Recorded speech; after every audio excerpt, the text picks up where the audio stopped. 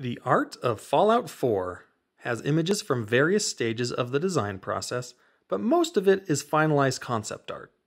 There's also some commentary from the developers about why they designed things the way that they did. Overall, this is a good video game art book. This review will cover the quality of the physical book itself, the content of the book, the aesthetics, and the nostalgia evoked by the book. I'll also talk about how it provides insight into the game's development.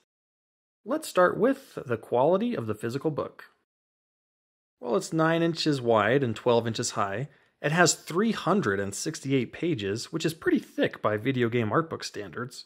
The book has a nice heft to it, and uh, the hardcover is pretty decent, even though mine's ripped. And the pages are pretty thick, and the printing quality is pretty good. So overall, the quality of the physical book's pretty good. All right, on to the content of the book, starting with how much image variety there is. The artwork ranges from pre production sketches all the way to final 3D models that are used in the game. Some of the images show descriptive notes, but that's not very common. The vast majority of the images are finalized concept art. I imagine the volume of material is so great that they couldn't include iterative artwork for very much, but it would have been nice to see a bit more than there is. There's occasionally more than average concept and iteration art for some random particular concept, like the heavy raider armor or a car. There's some very rough sketches. It's kind of like a brainstorm session where they're not spending too much time on any particular idea. This page shows weapon mod variation designs. There's some storyboards. I thought these weather palette pages were pretty cool. And I thought these pages with the pre war clothing next to the post war sketches were pretty funny. Even though most of the book is finalized concept art, you can still get a sense that a lot of work went into finalizing the designs. Huh? There aren't really any organizational issues. Uh, the chapters of the book are pre production, world, which is like landscapes, characters, creatures, weapons, vehicles, there's not many, set dressing, and illustration, which is like the magazines you can find. Is there any writing from the developers? Well, as near as I can tell, almost all of the writing in the book is from the development staff. It's direct and descriptive, and it's mostly found at the start of the chapters to give a generalized overview of how they made their design choices. For example, at the start of the weapons section, it says that they needed to create all the weapons in a modular fashion to accommodate for the weapon modification system. It also discusses the challenges that that posed to the design team. All right, does this book have what you want it to have? Well, it's like the book version of a Bethesda game in that there's just so much content. I mean, there isn't much iterative art or rough sketches, but I can't really think of anything from the game that isn't in the book. Here's a small sampling. This page shows how they made the power armor bulkier than in the past games because they wanted the character model to actually fit inside of it, and it needed to have a frame for interchangeable parts. There's a section of things that didn't make it into the final game, like this giant squirrel, these giant bats, and this mutant Deathclaw. Here's an absurdly detailed view of the inside of a Protectron, I really like seeing all the magazine covers together, as well as the other props. My personal favorite magazine cover is Blood on the Harp. it's just so stupid and perfect.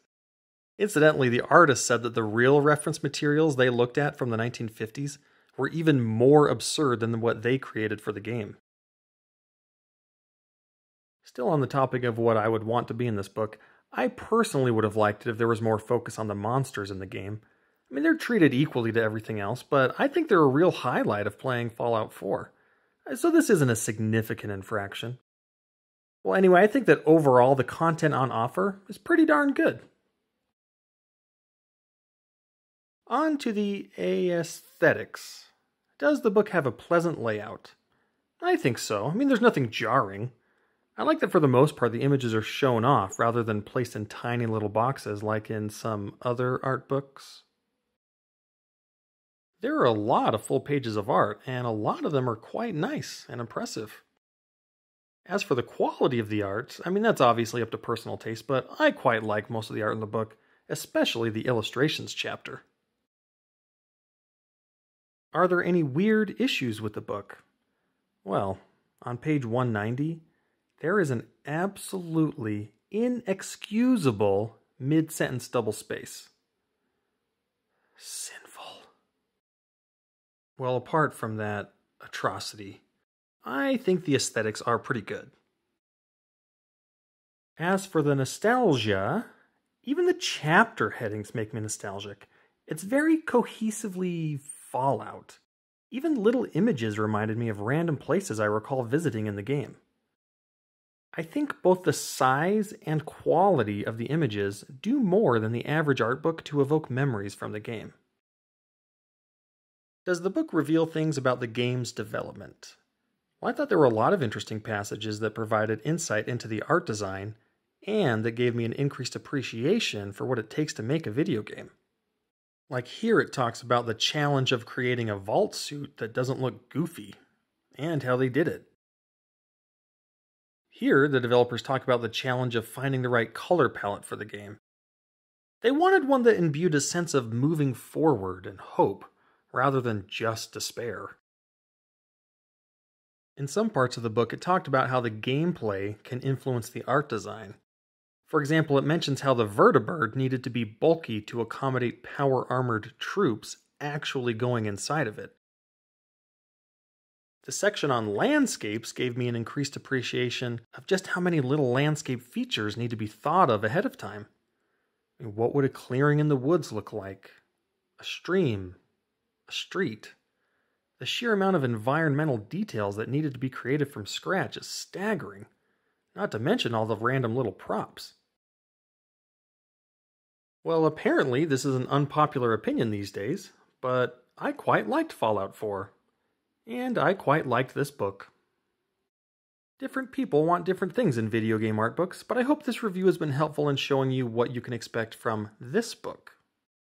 If for some strange reason you have any complaints about this book or you want to tell me how much you hate Fallout 4, uh, please, please feel free to contact my customer support center.